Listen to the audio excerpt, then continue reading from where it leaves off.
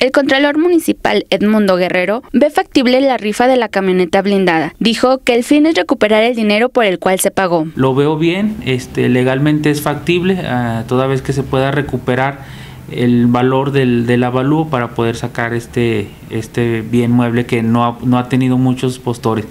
Es una buena oportunidad para hacerse de algo que está eh, eh, decriminando su, valor comercial, entonces lo difícil va a ser poder colocar todos estos boletos, pero yo lo veo bien el que pueda hacer a través de esta rifa, que la sociedad pueda eh, o a tener la oportunidad de ganarse este, este vehículo, a diferencia del avión presidencial, bueno, pues una camioneta blindada no implica mucho costo de mantenimiento ni de almacenaje, entonces yo creo que es una buena oportunidad para, la gente, para que la gente se pueda hacer de, de un vehículo y que el ayuntamiento se pueda deshacer de un bien que en realidad no está utilizando y que nos puede ayudar para eh, invertirlo en algo que sí sea de beneficio para el ayuntamiento y sobre todo para la ciudadanía. Habría que verlo con la Comisión de Hacienda y Vigilancia también de, de, del ayuntamiento, con los regidores y, con la síndico a ver cuál va a ser el, el, mecanismo. Seguramente para darle transparencia tienen que ser con los últimos dos dígitos o dos cifras de la Lotería Nacional eh, una vez que hayan definido la fecha. Toda la persona que vaya a adquirir un boleto pues obviamente tiene que recibir el boleto